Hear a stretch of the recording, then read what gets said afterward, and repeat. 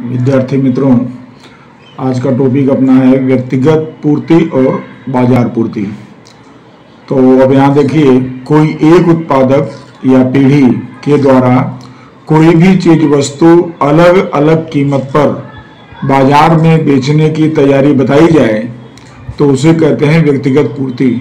तो व्यक्तिगत पूर्ति में कोई एक उत्पादक या कोई एक व्यापारी या पीढ़ी रहता है और वह किसी भी चीज़ को अलग अलग कीमत पर बेचने की बाज़ार में तैयारी बताता है। तो उसे हम कहते हैं व्यक्तिगत पूर्ति। अब बाज़ार पूर्ति क्या है? तो किसी निश्चित समय में अनेक उत्पादकों यहाँ पर संख्या अधिक हो जाएगी, यानी पूरे बाज़ार की बात होगी। तो अनेक उत्पादकों या व्यापारियों के द्वारा वस्तु को जो प्रमाण बाज़ार में बेचने की तैयारी दर्शाई जाए, उसे कहते हैं बाज़ार पूर्ति। इसको हम आकृति और अनुसूची के द्वारा समझेंगे। यह हमने देखो अनुसूची बनाया है। एक वस्तु की कीमत रुपए में है। दस रुपया, बीस रुपया, तीस रुपया, चालीस रुपया और पचास रुपया। उसके बाद हमने यहाँ पर उत्पादक ए पहला व्यापारी का नाम क्या है? ए है। दूसरा उत्पादक बी है और तीसरा उत्पादक सी है। ऐसे हमने तीन उत्पादकों का पूर्ति लिया हुआ है। ए उत्पादक दस रुपए पर पचास इकाई पूर्ति करने को तैयार है और 20 पर 60, 30 पर 70, 40 पर 80 और 50 पर 90 पूर्ति करने को तैयार है। बी उत्पादक जो है 10 पर 40, 20 पर 50, 30 पर 60 और 40 पर 70 और 50 पर 80 इकाई पूर्ति करने को तैयार है।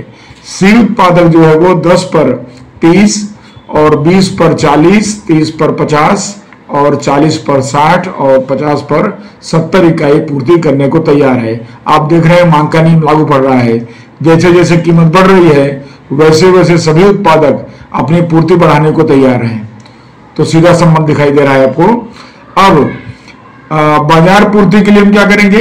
ये तीनों उत्पादकों को जोड़ लेंगे ए बी और सी तो यहाँ पर बाज़ार पूर्ति यानी ए की पूर्ति बी की पूर्ति और सी की पूर्ति। तीनों की पूर्ति साथ में ले लेंगे। तो ये देखिए, दस इकाई पर कुल पूर्ति हो गई पचास, चालीस, तीस। कुल मिला कितना हो गया? एक सौ बीस हो गया। और बीस रुपए पर साठ, पचास, चालीस, तीनों मिला कितना हो गया? एक सौ पचास हो गया। उसी तरह से तीस रुपए पर सत्तर, साठ और पचास मिला के कितना हो गया? एक सौ अस्सी इकाई हो गया। और चालीस रुपए पर तीनों को मिला के अस्सी, सत्तर, साठ, तीनों को मिला के दो सौ दस इकाई हो गई। और पचास रुपए कीमत पर तीनों को नब्बे, अस्सी और सत्तर मिला करके 240 इकाई हो गई। तो ये जो अंतिम है, ये बाज़ार की पूर्ति माना जाएगा। ये बाज़ार पूर्ति है। ये व्यक्तिगत पूर्ति है, ये बी की व्यक्तिगत पूर्ति है, सी की व्यक्तिगत पूर्ति है, लेकिन ये बाज़ार पूर्ति है। अब हम क्या करेंगे, इस अनुसूची पर से एक ही आलेख रेखा में तीनों व्यक्तियों या तीनों उत्पादकों की पूर्ति दर्शा देंगे। और बाज़ार पूर्ति को भी दर्शा देंगे। तो आपको एक ही आलेख में सारी चीज़ें आ जाएँगी। तो देखिए, हमने यहाँ पर आलेख रेखा बनाया है। यहाँ पर वस्तु की कीमत है। आप देख रहे हैं, दस से लेकर पचास तक है। तो दस रुपए तक से लेकर पचास रुपए तक। उसके बाद पूर्ति है। तो पूर्ति यहाँ पर है मैक्सिमम जो है 240 है। और मिनिमम इसके अंदर आपको पूर्ति है तो कितनी है? तो मान लो 30 है यहाँ पर। तो हमने यहाँ पर क्या किया है? बीस इकाई करके लिया है चालीस। तो चालीस इकाई एक बराबर चालीस इकाई माना है तो चालीस, फिर चालीस अस्सी, फिर अस्सी में चालीस जोड़ा एक सौ बीस, एक सौ बीस में चालीस जोड़ा एक सौ साठ, एक सौ साठ में चालीस जोड़ा दो सौ दो सौ में चालीस जोड़ा दो सौ चालीस। ऐसे हमने चालीस चालीस का जो है अंतर रख करके हमने यहाँ पर जो है वस्तु की पूर्ति इकाई में लिया है। और अब उसके बाद हम आलेख बनाएँगे। पहले उत्पादक ए का दस रुपए पर पचास इकाई। ये देखिए, दस रुपए पर और इसकी ये देखो, पचास इकाई लगभग चालीस के बाद ये पचास इकाई आएगी। ठीक है? इसी तरह से बीस रुपए पर साठ इकाई है। तो ये बीस रुपया है और ये चालीस पचास, यहाँ लगभग साठ आएगा। अंदाजे लगभग तो लगभग यहाँ पर आएगा, साठ इकाई। इसी तरह से तीस पर कितनी इकाई इसके दिया है? तो तीस पर है, सत्तर इकाई।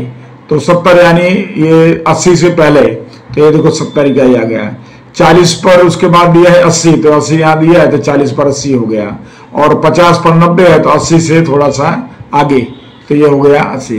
तो इस तरह हमने इसको पूर्ति रेखा बनाया तो ये उत्पादक ए की पूर्ति रेखा हुई, इसको क्या कहेंगे? व्यक्तिगत पूर्ति रेखा कहेंगे। इसी तरह हम बी का बना लेंगे। दस रुपए पर चालीस तो देखिए, दस रुपए पर चालीस ये रहा। और उसी तरह से बीस रुपए पर इसका कितना है? तो ये है पचास। तो बीस पर पचास, यानी चालीस से एक अंक आगे। बराबर? इसी तरह तीस पर साठ, चालीस पर सत्तर, ऐसे बनाएँगे इसको। और लास्ट में पचास पर अस्सी है, कि ये देखिए पचास पर ये अस्सी है। इस तरह इसको हमने मिला दिया? तो बी उत्पादक का जो है पूर्ति रेखा तैयार हो गई। और ये भी क्या है? व्यक्तिगत पूर्ति रेखा कही जाएगी। अब सी का बनाएँगे तो दस रुपए पर कितनी इकाई है? तीस इकाई। ये देखिए, दस रुपए पर तीस यानी चालीस से थोड़ा इधर के तीस इकाई ये रहा। इसी तरह से बीस पर लिया हमने तो बीस पर इसका है चालीस इकाई। तो ये है बीस पर चालीस।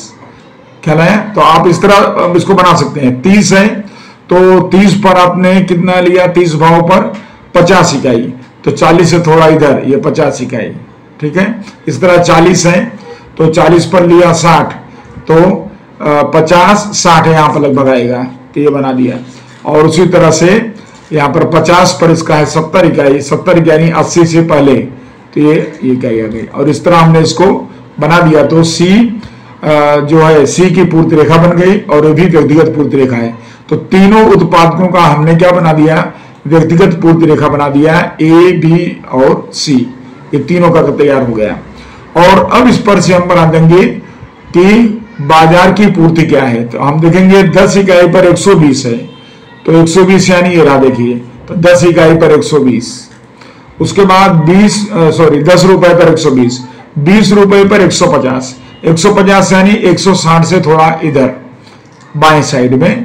तो ये देखिए 20 रुपए पर। 30 रुपए पर 180 180 दिया है तो यहाँ पर 160 के बाद 170 180 लगभग यहाँ पर 180 आएगा तो यह देखिए यहाँ पर बना दिया।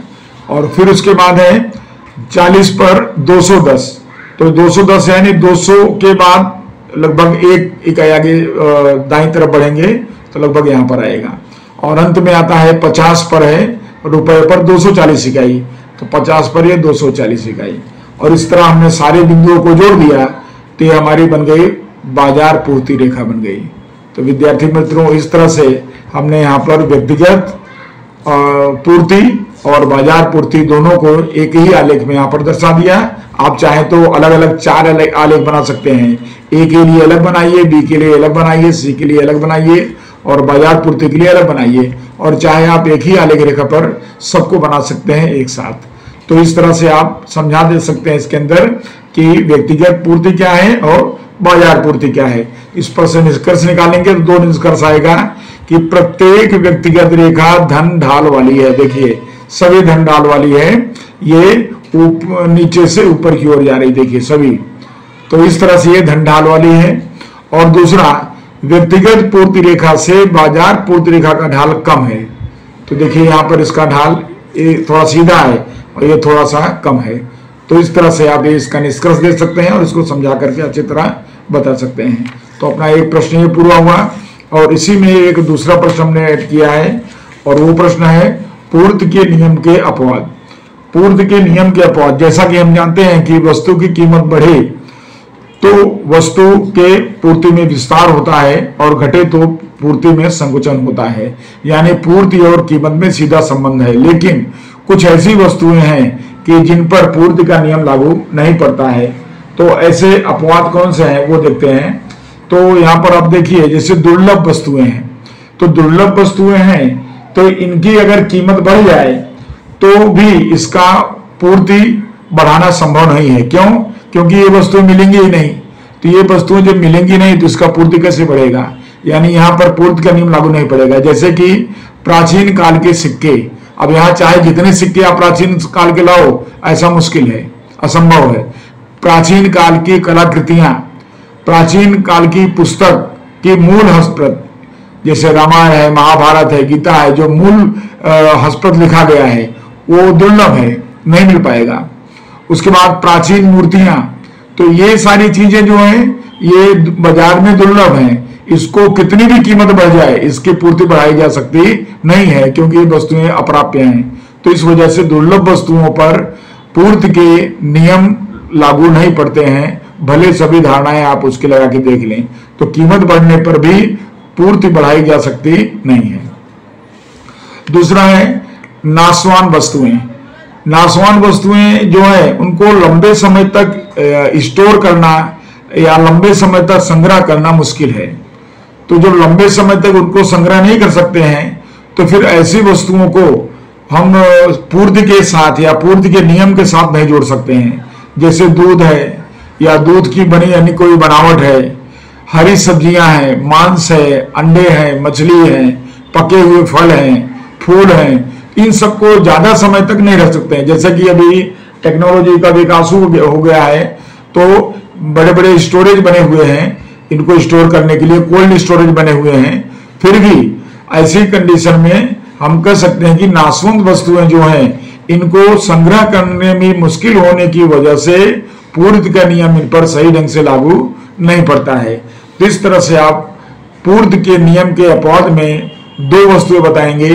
एक दुर्लभ वस्तुएँ, जो बाज़ार के अंदर अप्राप्य हो या मिलने में मुश्किल हो, और दूसरी नासवान वस्तुएँ जो जल्दी से नष्ट हो जाती हों, जिनको लंबे समय तक रखा ना जा सकता हो तो ऐसी वस्तुएँ जो है, इन वस्तुओं पर पूर्ति के नियम का या पूर्ति का नियम लागू नहीं पड़ता है, इसलिए इनको पूर्ति के नियम का अपवाद कहा जाता है। विद्यार्थी मित्रों, आज के वीडियो में अपना दो टॉपिक, व्यक्तिगत पूर्ति और बाज़ार पूर्ति और पूर्ति के नियम के अपवाद, ये हमने आपको चर्चा किया, और अगले वीडियो में हम नया टॉपिक के साथ मिलेंगे।